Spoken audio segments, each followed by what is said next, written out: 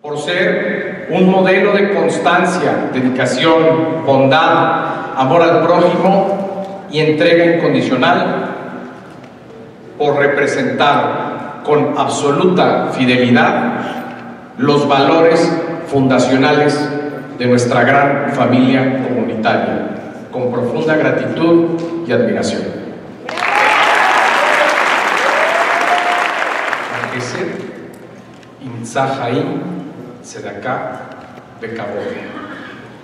El que practica la caridad y la bondad alcanzará larga vida, misericordia y honor. Este es un día de enorme significación para quienes integramos la gran familia de Alianza Monte Sinaí y para quienes hemos hecho de la labor comunitaria nuestra vocación y nuestra forma de vida. Luego nos reunimos para rendir homenaje y distinguir a uno de los grandes maestros de nuestra actividad. El pasado lunes 24 de febrero, la mesa directiva de la Sociedad de Beneficencia Alianza Monte Sinaí, que me honro en presidir, con profunda alegría decidió, por unanimidad, llevar a cabo este homenaje comunitario a don Marcos Pejo Salame, enormes méritos, su amplia trayectoria voluntaria, sus importantísimas contribuciones a nuestra comunidad y sus incontables cualidades humanas.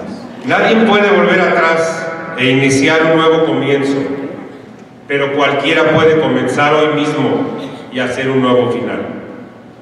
Don Marcos, Marquitos, tío Marcos, de la forma que quieran, pero el señor Marcos Penjos es una persona dentro de muchas más que se ha entregado en cuerpo y alma a su comité, a su comunidad.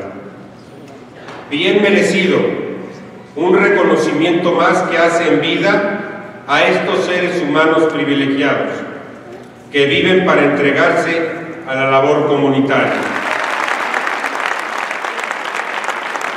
Me encuentro ahora frente a ustedes representando a mi mamá y a mis hermanos, a sus familias, para dirigirles unas palabras de agradecimiento a nuestro Padre. Sabemos que ese gese, ese favor desinteresado, exento de vanidad y orgullo, merece un pago inimaginable. Siempre, papá, sabes extender tu mano para dar, para,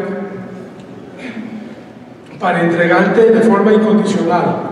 ¿Cómo podemos olvidar cuando éramos niños, estábamos en algún lugar, en algún restaurante comiendo, chiquitos, e invitabas a sentarse a un niño de la calle?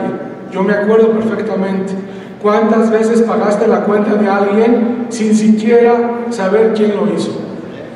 que les suplico que si se me llega a torcer la lengua, sepan que lo hago con todo mi cariño, sin querer faltar respeto por la misma emoción que tengo. Y yo alabo a los muertos que ya han fallecido, más que a los vivos, quienes todavía están vivos. Este es Abot 4.2 de Salomón, del rey Salomón, que Dios me ha permitido estar con ellos para darle consuelo a los que 120 años vivamos, los vivos.